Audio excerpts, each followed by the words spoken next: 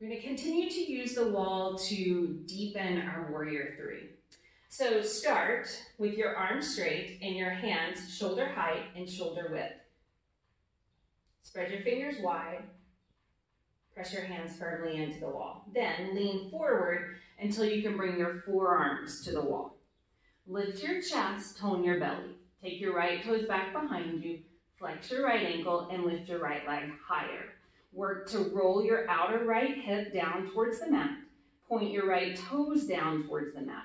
Press back through your right heel and lift your right leg higher. When you're ready, lower your right foot down, lift your chest, and come on up.